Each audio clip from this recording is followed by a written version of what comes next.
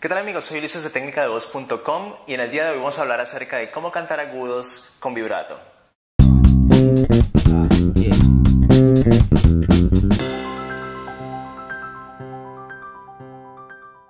Lo que vas a ver a continuación es una clase de módulo 3 de Abriendo tu Voz. Para quienes no saben qué es Abriendo tu Voz, Abriendo tu Voz es nuestro programa de entrenamiento completamente gratis, ¿ok?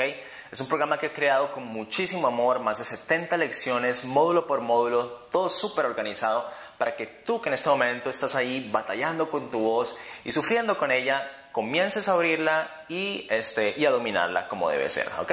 Para registrarte puedes hacerlo yendo a este enlace que voy a poner aquí abajo, ¿ok? En este momento hay más de 3.000 estudiantes registrados y espero que tú seas el próximo en registrarte, ¿ok? Y te dejo con tu clase, que es un preview de lo que es abriendo tu voz. A continuación, este, regístrate a este canal, comparte este video y nos vemos el próximo viernes. Chao.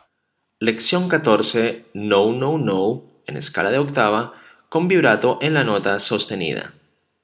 La efectividad de este ejercicio yace en que continuamos utilizando la N, que como dijimos es un divisor de nuestras dos cámaras resonadoras principales. Estas son nuestra boca y los resonadores que tenemos en la parte alta de nuestra cabeza, que son los resonadores nasales. Ambos supremamente importantes, pero para comenzar a conciliar con nuestra voz de cabeza es mucho más fácil dividir esas dos, puesto que el resonador de pecho o del pecho, que es la boca, es el que más tiende a usarse y por tanto muchos cantantes terminan gritando las notas, lo cual me lleva al siguiente punto y es que no, al estar utilizando la O y la U, son dos vocales que cierran y nos dan muchísimo más control que por ejemplo la A al vocalizar, vocal más pesada y más fácil de abusar de todas, más chesty, más de pecho. ¿Ok?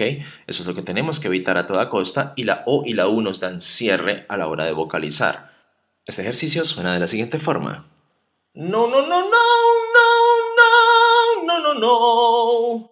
Tu objetivo es lograr que al llegar a la nota más alta, ningún músculo de ingestión se active, no haya estrangulamiento de ninguna índole y por ende el vibrato se presente y se dé de forma natural, libre y relajada.